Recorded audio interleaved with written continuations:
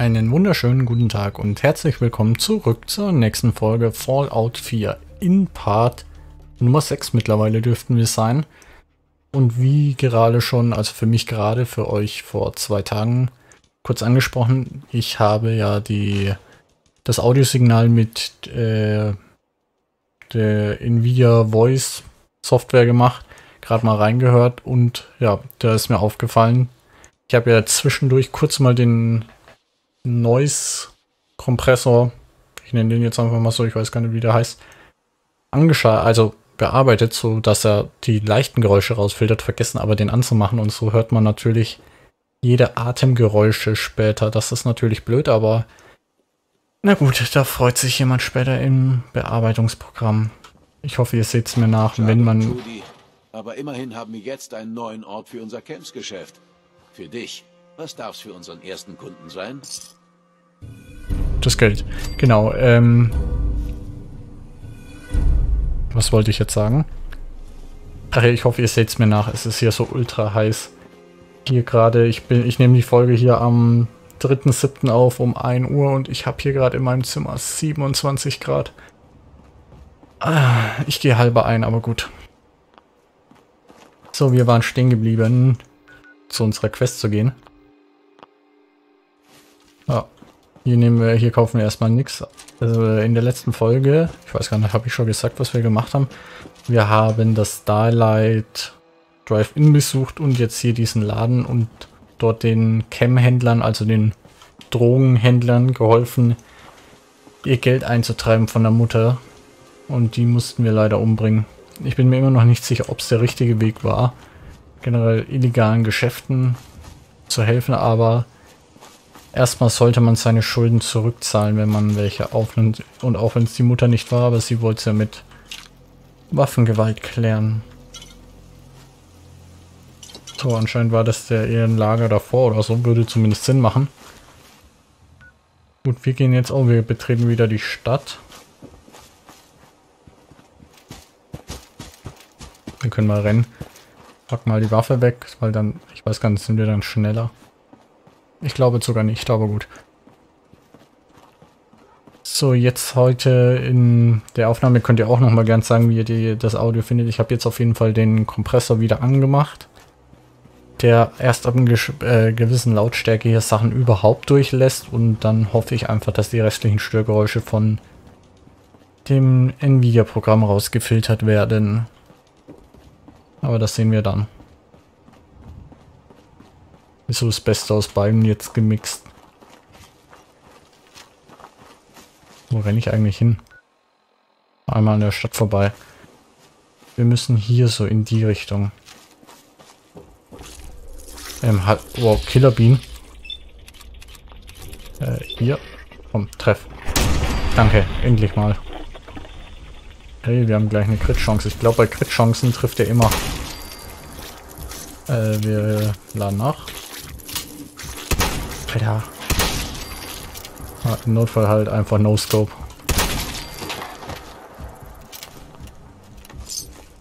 Wir drücken uns auch mal kurz ein Stimpack rein.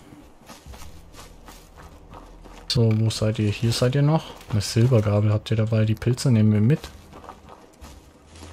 Und auch das, okay, wir sehen jetzt schon mal das Symbol unten auf diesem Hub. Und kommen dem näher. Manchmal gibt es hier was bei den Autos, aber hier anscheinend nicht. Was bist du? Oh, du bist ein Unterschlupf. Vielleicht war das auch der Unterschlupf. Sieht zumindest ein bisschen luxuriöser aus. Vielleicht ist da aber auch jemand drin.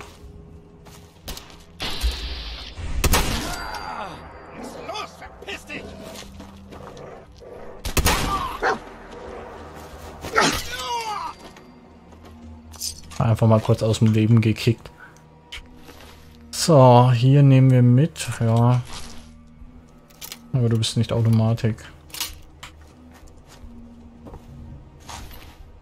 Also die wurden mir als Gegner angezeigt, darum bin ich jetzt einfach drauf los mit der Waffe. Sonst hätte ich natürlich versucht mit denen zu reden. Kommen wir nicht oben drauf? Ah doch, wollte schon sagen. Gehen. Hallo. So. Oh, hier gibt es auch noch mehrere Leute. Hm, Kochplatte, Unterhemd und Jeans, das brauchen wir, glaube ich, nicht.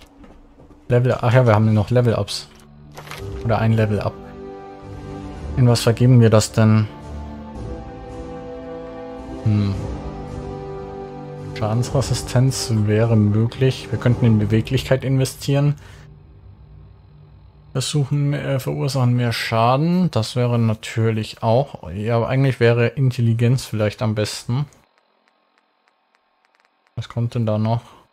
Robo-Experte, Nuklearphysiker. Du weißt, wie man Atome spaltet beherrscht Strahlungswaffen verursachen mehr Schaden. Nerdmut. Ja. Tragekapazität. Gut, das haben wir durch unseren Mod eigentlich schon abgedeckt. Ja, mehr Schaden. Was haben wir hier bei Jesus? Du bist die Vitalität in Person und erhältst mehr Gesundheit. Sind 20 Gesundheit zu viel? Immer rein das Zeug. Auch möglich. Dein mysteriöser Freund erscheint gelegentlich im Wetz und hilft dir mit tödlicher Effizienz. Was muss ich denn darunter verstehen? Komm, das nehmen wir mal. Das Wetz ist ja aktuell so beschissen. Da kann alles helfen. Jetzt geht's da runter. Oh. Das waren mal echte Menschen anscheinend. Ich behaupte einfach mal, die wurden von denen umgebracht. Dann war es nur halb so schlimm, dass wir die umgebracht haben.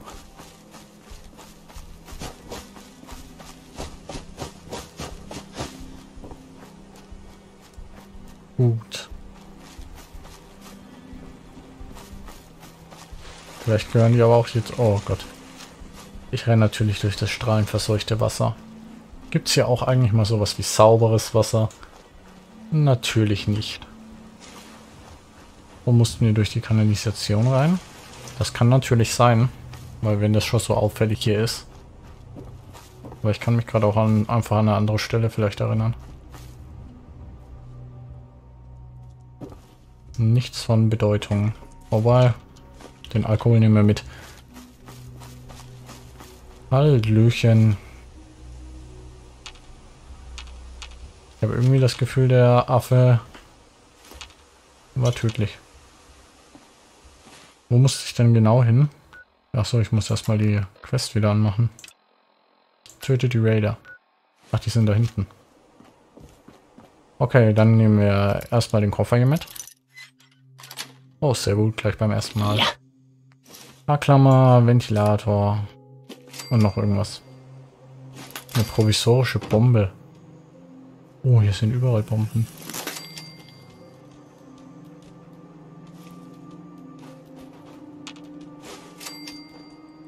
Noch irgendwo? Ich habe das Gefühl... Was, wie, wie, ich frage gar nicht. Manchmal ist Fallout ein bisschen buggy. Ja, die Monkey Trap wie Das war nicht geplant. Es ist keine Mon äh, Monkey Trap mehr. Ich würde sagen, wir haben es geschafft. Nachricht. Trees, wenn du das hier liest, du bist ein Dummkopf. Ich sag's zum letzten Mal, wir schließen diese Türen. Benutze den Eingang im Abwasserrohr, wenn, es noch mal, wenn du es nochmal vergisst. Kannst du draußen bleiben. Walter. Gut, wir wissen jetzt auf jeden Fall, wie wir reinkommen. Wahrscheinlich sind das auch die Banditen, die wir erledigen dürfen. Weil ich wüsste nicht, wo hier noch sonst Banditen sein sollten. Wir können mal ganz kurz... Ne, das zeigt ja schon eindeutig aufs Abwasserrohr. Aber finde ich ein bisschen blöd, dass da schon die Lösung gespoilert wird. Aber gut. So schlimm ist das auch nicht. Abflussrohr.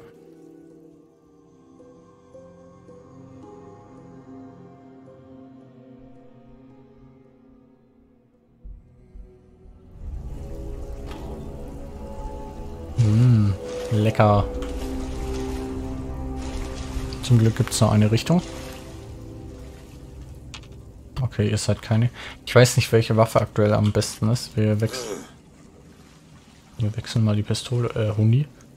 Haben wir eine Bombe, äh, eine Bombe, eine Granate oder sowas? Ein Molotow-Cocktail könnten wir nehmen. Warum denn nicht? Alte alt gedrückt. Okay.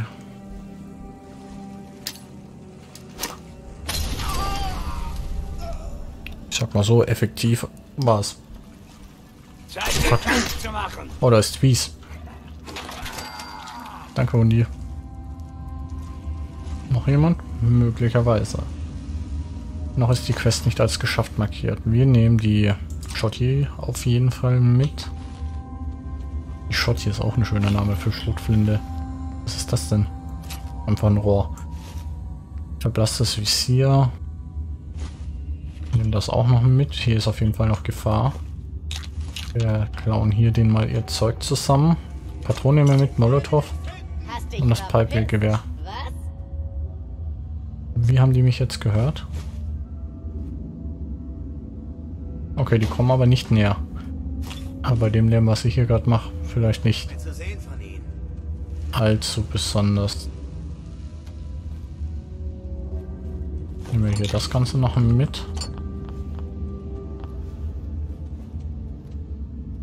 Hier konnten wir doch noch irgendwas aufsammeln. Können wir die Notizen nicht? Ne. Keine Notizen für euch. Geräuschefalle, Geräuschefalle. Wer auch immer da vorbeirennen sollte.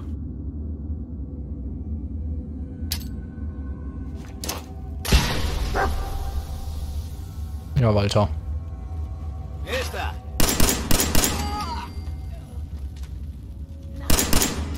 Oh, gib mir kurz. Das war's für dich. So. Oh, hier gibt's noch mehr Zeug. Sehr, sehr schön. Gut, was haben wir hier noch? Noch mehr von diesem Alkoholzeug. Ich gehe zumindest davon aus, dass es Alkohol ist. Chat, das war für irgendwas Heilungsmäßiges, glaube ich. Oh, Schlüssel zum Souvenirladen. Mit Leuchtvisier. Brauchen wir ein Leuchtvisier? Eigentlich nicht. Wie sieht das jetzt eigentlich aus, wenn ich nur mal kurz Alt, äh, ja, Alt drück?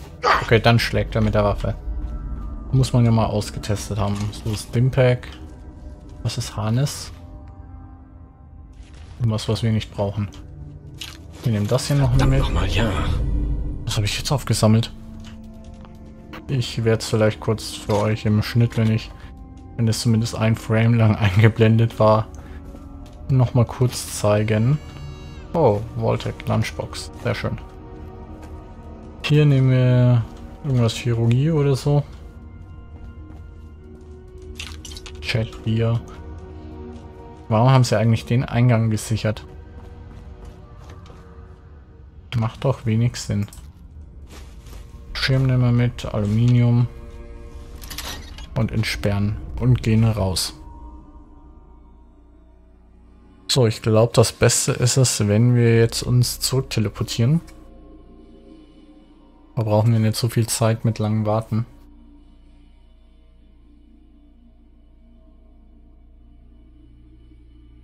Ja gut, das dauert schon lang genug, den Ladescreen hier zu laden. Ist halt eine große Map. Aber gut. Na gut, langsam kann es mal wirklich fertig werden. Ich weiß auf jeden Fall, welches Spiel ich als nächstes auf die SSD packe, wenn Warhammer rum ist. Das. Jetzt fragen sich manche vielleicht, warum packst du nicht beide drauf? Ja, weil ich keinen Speicher drauf mehr habe. Warhammer nimmt gerade mal 50 Gigabyte weg. Ähm, Uni. Hast du mir gerade was gebracht? Die Kanne? Automatische Tour.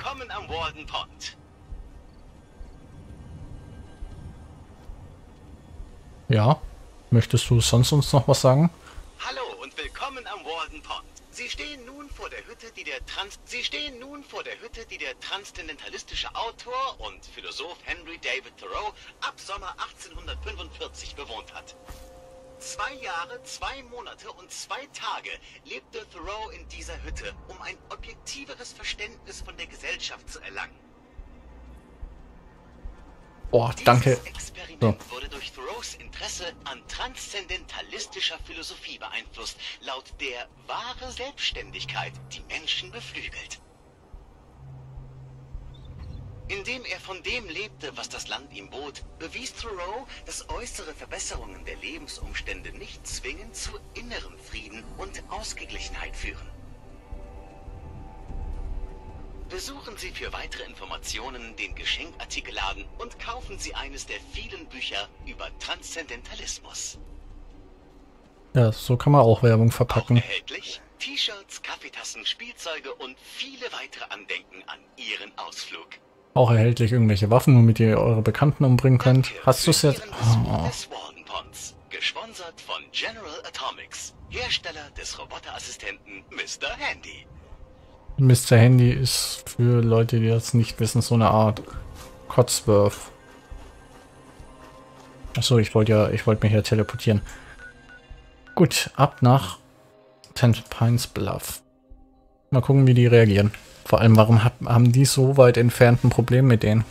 Das wäre ja vielleicht noch viel interessanter zu wissen. Aber gut, geht mich ja nichts an.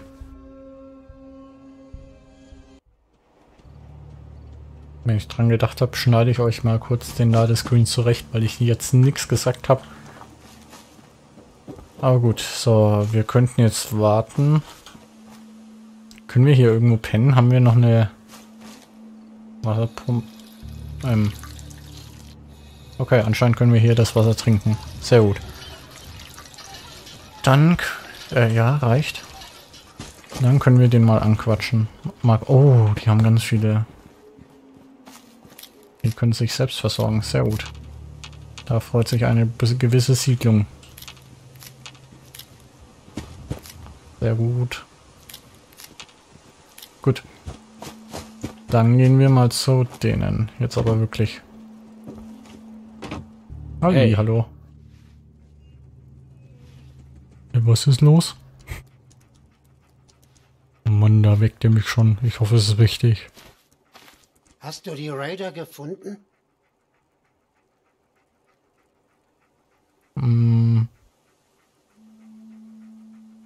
Ich habe mich Ja. gekümmert. Ich habe mich um sie gekümmert. Im Ernst? Das sind die besten Neuigkeiten, die ich hier seit langem gehört habe. Wir haben uns mal etwas unterhalten. Und wir haben beschlossen, den Minutemen beizutreten. Wenn wir wollen, dass sich die Lage verbessert, müssen wir anfangen, uns gegenseitig zu helfen. Also, wir sind dabei. Du kannst auf uns zählen, wenn du irgendwann mal Hilfe brauchst. Danke nochmal. Ja, danke auch. Sehr schön. Dann können wir diese frohe Nachricht auch überbringen. Und ab. Oh, oh jetzt hat der Ladescreen hier mal wieder ein Bild. Raiders sind äh, die Geisel des Ödlands im Commonwealth wie auch überall sonst. Sie sind locker, äh, locker organisiert in einer Machtstruktur, die auf schierer Rauch Ruchlosigkeit basiert. Mann, was ist denn heute los? Und greifen jeden jederzeit an, ob es einen Grund dafür gibt oder nicht. Synths des Instituts gibt es in verschiedenen Ausführungen, vom skelettartigen Gen 1 Modell bis zu einer ganz anderen tollen Ausführung. Hallo, Die Preston. Siedlung, zu der du mich geschickt hast, hat beschlossen, sich den Minutemen anzuschließen. Das sind wunderbare Neuigkeiten. Ich wusste, du bist perfekt für diesen Job. Ach übrigens, du solltest eine dieser Leuchtpistolen mitnehmen. Mit ihr kannst du Minutemen in der Nähe zur Hilfe rufen. Im Moment ist sie noch nicht so nützlich. Aber wenn sich uns ein paar mehr Siedlungen anschließen, wirst du irgendwann überall Hilfe rufen können. Ich schätze, du weißt, dass ich einer der letzten Minutemen bin. Aber ich habe dir nie wirklich erzählt, was mit uns geschehen ist. Ich bin ganz ohr. Hast du mal vom Quincy Massaker gehört? Nein. Ich dachte, inzwischen wüsste jeder im Commonwealth davon. Die Minutemen verrieten sich gegenseitig. Und die Leute, die sie schützen sollten. Ich war in Colonel Hollis Gruppe. Eine Söldnertruppe, die Gunners, griffen Quincy an. Die Bewohner baten die Minutemen um Hilfe. Wir waren die einzigen, die kamen. Die anderen Gruppen wandten sich einfach ab. Von uns und den Leuten in Quincy. Nur ein paar von uns kamen lebend heraus. Colonel Hollis war tot. Und so übernahm ich das Kommando über die Überlebenden. Wir haben nie einen sicheren Ort zum Ansiedeln gefunden. Eine Katastrophe nach der anderen. Das Ende des Ganzen hast du in Concord gesehen. War es das Massaker oder? Was war das Quincy-Massaker? Ich dachte, inzwischen... Ich war in Colonel Hollis. Okay, das war das. Dann überspringen wir mal das kurz. Ich weiß, wie es sich anfühlt, allein zurückzubleiben. Ja, schätze, das tust du. Deshalb rede ich mit dir. Ich kann die Minutemen nicht wieder aufbauen, aber ich glaube, du schon. Warum kannst du die Minutemen nicht anführen? Weil ich kein Anführer bin. Ich kann meine Leute durch ein Feuergefecht bringen. Ich kann einen Perimeter verteidigen. Aber das wird nicht reichen, um die Minutemen vor dem endgültigen Aus zu bewahren. Wir brauchen jemanden, der das ganze Commonwealth zusammenbringen kann, um ein gemeinsames Ziel zu erreichen. Und ich glaube, du bist die richtige Person dafür. Wieso glaubst du, dass ich das kann? Du hast uns in Concord gerettet. Du hattest dadurch keinen Vorteil und du hattest deine eigenen Probleme. Aber du hast es trotzdem gemacht. Diese Art von Selbstlosigkeit sieht man hier schon seit einer Weile nur noch sehr selten. Kannst du mir erklären, worum es bei den Minutemen geht? Wir sind Bürgersoldaten. Leute aus dem Commonwealth, die sich zusammenschließen, um sich gegenseitig zu schützen und die gemeinsame Zukunft zu bestimmen. Das war die ursprüngliche Idee dahinter. Und es ist eine gute Idee. Die Minutemen sind den Bach runtergegangen, weil unsere Anführer vergessen haben, wofür wir stehen sollten. Ich glaube, du kannst die Minutemen wiederbeleben und das ganze Commonwealth einen. Ja, wir können es auf jeden Fall mal so, äh, versuchen. Okay, ich mach's. Gut, sehr gut. Willkommen an Bord. Ich habe das Gefühl, dass das ein ganz neuer Anfang für die Minutemen und auch das Commonwealth ist. Keine Sorge. Ich werde immer an deiner Seite sein, General. Warum nennst du mich General? Der Anführer der Minutemen hatte immer den Rang eines Generals. Unser letzter Anführer war General Becker. Er ist 82 gestorben und danach konnten wir uns auf keinen Nachfolger einigen. Das einzig Gute, der letzte Minuteman zu sein, ist, mir widerspricht niemand, wenn ich sage, dass du der neue General bist. Jetzt ist es an dir, dafür zu sorgen, dass es mehr wird als nur ein bedeutungsloser Titel. Ich habe einen etwas anderen Auftrag für dich. Dann erzähl mal. Unsere Späher haben eine vielversprechende Stelle für eine neue Siedlung gefunden. Sobald du alles gesäubert hast, platziere einen Funkleitstrahl und informier die Siedler darüber. Und bevor du dich versiehst, haben wir da eine neue Farm statt des Ödlands. Wir holen uns das Commonwealth zurück, Stück für Stück. Das hört sich doch gut an. Müssen wir zumindest... Hast du einen Augenblick Zeit? Ich wollte dir dafür danken, dass du uns in Concord geholfen hast. Hätten wir dich doch nur eher getroffen. Ähm, was ist passiert? Das ist sicher interessant. Keine Ursache würde auch passen.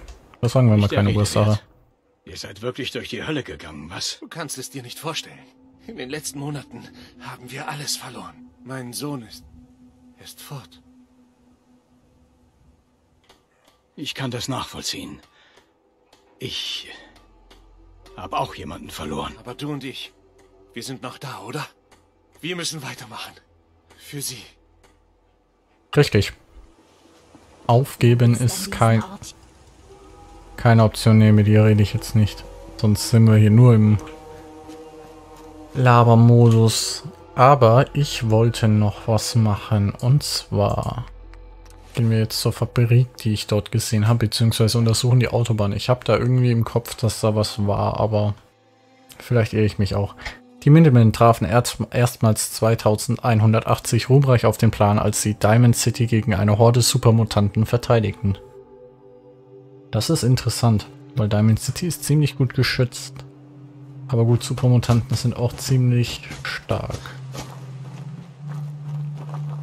So, jetzt müsste ich nur noch wissen, wo das in etwa war. Vielleicht bei dem Gebäude? Ich habe hier irgendwie ein Flugzeug im Kopf, aber keine Ahnung, ob das stimmt. Das sieht auf jeden Fall nicht wie ein Flugzeug aus, aber eher wie eine Bedrohung. Hier wird geschossen.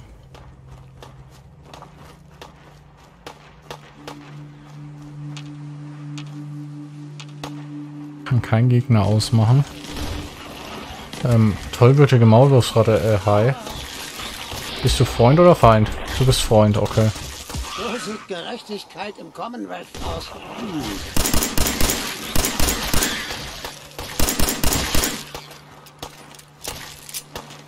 Bleib da stehen. Keine Wahl. Willst du dich jetzt gerade erklären, oder? Doch, du hast doch hier sehr gute Arbeit geleistet.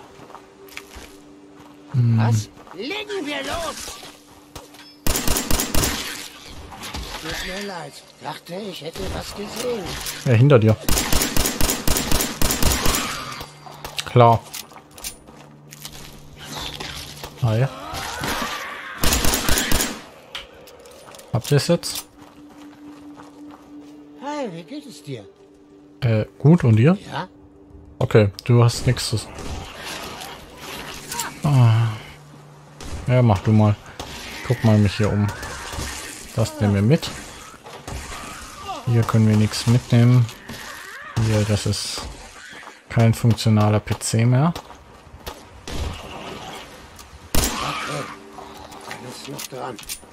Sehr gut.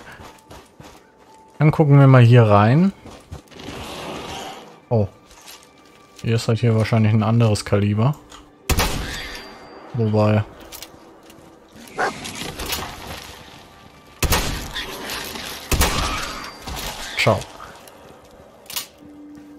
Gut, das wird hier wahrscheinlich der Schatz sein. Oh ja. Oh ja. Nehmen wir mal mit, weil ich gerade nicht weiß, wie gut der Rest ist. Oh, ein Scharfschützengewehr. Das können wir gebrauchen. Gut.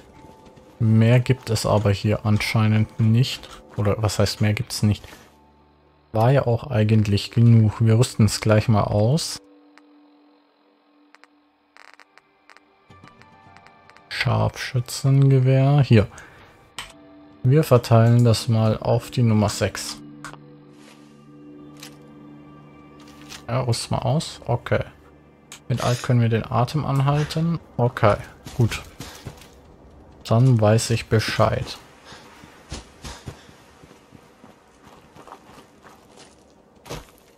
Wo bist du denn, Hundi?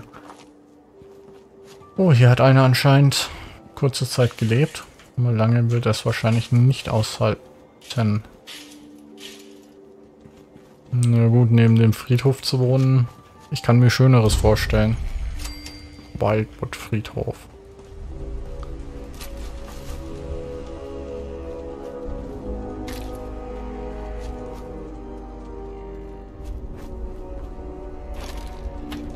Oh. Ich habe jetzt hier eher mit so einem Unterstupf gerechnet, aber gut. Alter! Lass mein Hund in Ruhe. Ciao. So, da kommt der von hinten einfach angeschlichen. Ähm, ja, können wir mal mitnehmen. Ja, wir, wir klauen hier mal Knochen. Über die ethische Frage unterhalten wir uns gar nicht. Oh. Hier wird was, äh, das Symbol ist aber nur symbolisch dafür, dass es den Ort gibt, oder?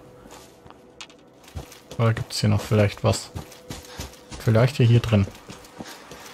Wir kommen her und plündern erstmal den Friedhof. Wenn uns Kramer nicht trifft, wenn dann? Ja.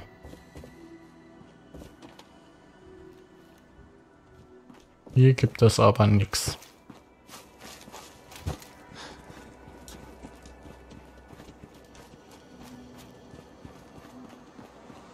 Fahren wir noch in die beiden rein und dann...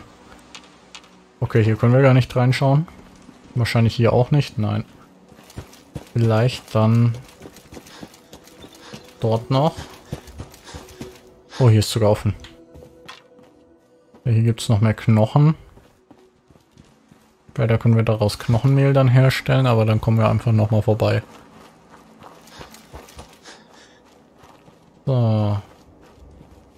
Wo sind wir jetzt eigentlich gerade? Wir sind doch ganz schön weit in die andere Richtung gegangen, aber gut. Es gibt ja hier keine richtige und falsche Richtung.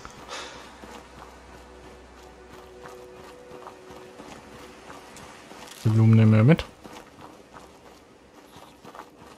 Okay, ich höre hier wieder was.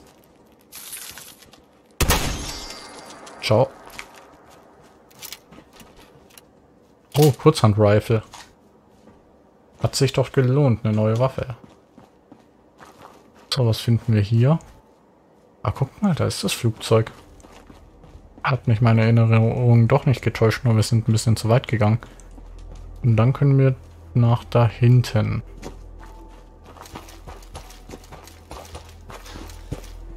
Na hopp.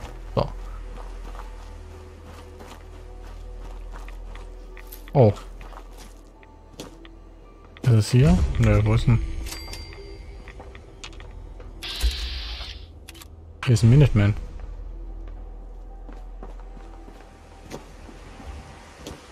Na gut. Was es aber in dem Flugzeug gibt, das sehen wir erst im nächsten Part. Schaut dann gerne rein, dann erkunden wir wie gesagt dieses Flugzeug und dort hinten den Ort, wo wir gerade gesehen haben mit dem Cotsworth-Ding da. Nur die andere Ausführung. Bis dahin habt eine gute Zeit. Macht's gut. Tschüss.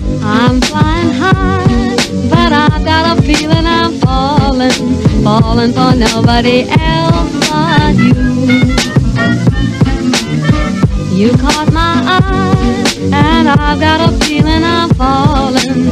Show me the ring and I'll jump right through.